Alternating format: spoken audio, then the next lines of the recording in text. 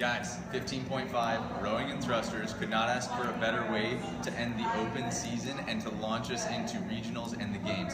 I am super stoked that we're getting to see rowing again. And the best part being, this is the first workout that we've seen where you you can actually win the workout with rowing. Thrusters in this workout are going to tend to be more of a placeholder rowing and your ability to push through is really going to be the key to whether or not you can make it through this workout. Now, to get started, I just want to talk briefly about technique. There's a whole lot of technique that goes into rowing, right? But what I want you guys to think about is A, if you haven't taken a look at any technique yet, go check out my website. Got a bunch of videos to get you up to speed on actual technique. I don't want to take too much of your time and cover that tonight. But that's step one, right? If you haven't focused on technique yet, go ahead and some, find some videos on technique, spend a day working on it, brush up, and try to find your connection to the machine. If you don't have connection, this is gonna be a really, really rough workout, okay? With that being said, let's take a look at the things we need to focus on. So, we got some major points.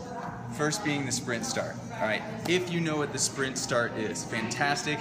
Absolutely use it only on the 27 calorie row.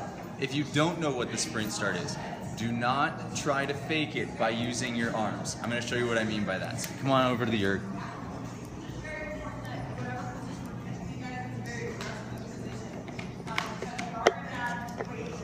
Good sprint start uses the legs, right? And the legs are the strongest piece of the puzzle when it comes to the rowing stroke. So a good sprint start should look like this.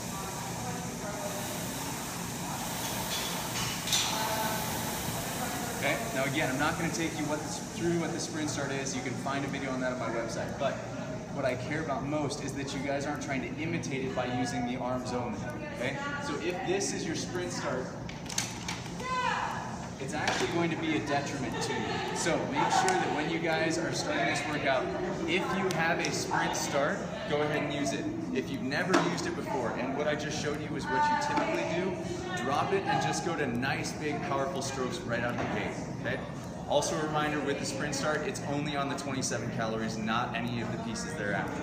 All right, second thing, come on over, back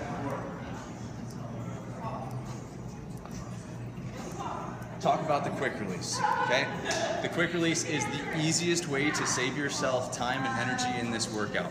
There are eight transitions, meaning we move off and on the erg eight times, okay? So let's take a look around again.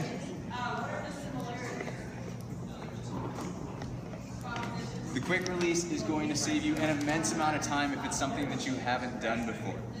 Simplest thing in the world. You're gonna take your four fingers and you're gonna grab the underside of the foot stretcher. Next, thumbs are gonna go onto the buckles. From there, you're gonna press the buckles out. Now, here's where most people lose it, is they let go and then they try to slip their feet out. The problem being, when you go to get back in, you can get stuck in the strap. So what I wanna see, grab the underside, thumb on the buckle, press the buckle out. Now, continuing to press away on the buckle, pull your toes toward your face. At that point, I have a ton of room in these straps. I'm gonna kick my feet up, and then my heels are gonna come out first. Why is that amazing? Is because now you don't get caught on the machine. And when I come back to the machine, my feet go right back in, toes in first, heels down. I can grab both straps, and I'm back in and ready to go. That is going to save you a ton of time. So if you don't do anything else, if you don't focus on technique, if you don't have a sprint start, at least use the quick release. It will save you time, I promise. Back to the whiteboard.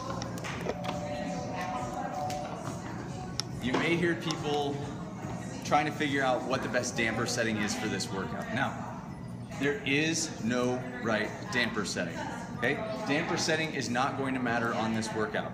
The only reason it does matter is that I want you to row at the damper setting that you are most comfortable rowing at. Don't change it for this workout. A higher damper setting or a lower damper setting than what you're used to is not going to have an impact on your ability to row for calories.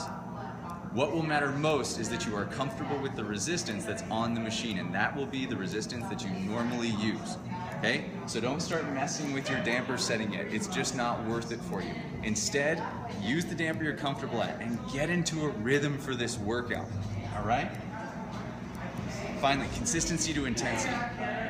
We talk about this in CrossFit all the, all the time, right? We want to establish consistency before we move on to intensity. What I mean by this is that after you get through your sprint start, I want you to come out of the gates hard. settle into a rhythm.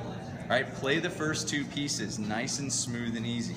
Right? You don't want to blast through the first two and end up suffering through the final two rounds. So once you finish the first two rounds, now I want you to turn on the intensity when you get onto the erg. When you are on that machine for the final two rounds, you should be pushing, right? That is where your real work sets come in. And as Dave Castro was talking about in the post game, right? That is where the athletes are really going to prove themselves, is the ability for them to push through the final two pieces. That's where the mental toughness piece comes in. And this is where the true test of the workout happens, is in the final two rounds. The first two, settle into a nice smooth rhythm. Do not blow out, push, but don't waste yourself. Okay? Finally, win the workout. On the erg, guys. This workout comes down to how well you know the machine.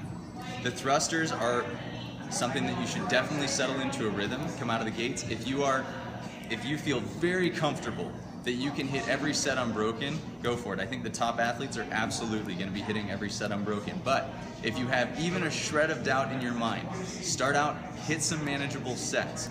Don't let yourself get down to singles or doubles. That is going to be a killer in this workout. The other killer is going to be if you don't have the technique to connect to the machine. Okay? We don't want to waste any energy that we don't have to while we are rowing through this workout. Okay? Now, finally, uh, since some of you may not be comfortable with how many calories per hour is equated to what your normal pacing is, if you're used to watching split or the slash 500 meter that you see on your screen, I'm going to post a picture on Instagram, should be on Twitter as well, at Shane Farmer, but there is a graph that shows you a rough breakdown of split or our 500 meter pace to calories. Take a look at it. It's really a helpful a, helpful piece for you as you go into this workout so that you have an idea, okay, what should my pace be if I usually row a two minute split for a 500 meter piece, okay? That is going to tell you where you should start and it's gonna help get your mind right and focused on this workout, 15.5. It's gonna be a doozy. I am so stoked to see how it goes. I can't wait for you guys to kill it. Hit me up with any questions you have. Good luck, go get it.